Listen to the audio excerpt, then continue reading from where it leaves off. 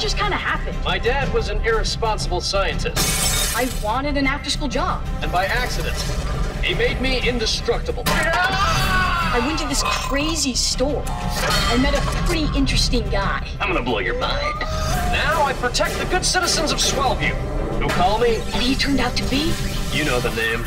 Man! That's right, Henry. In time, I realized that being a superhero is a lot to handle alone. You wanted some help. I needed a sidekick.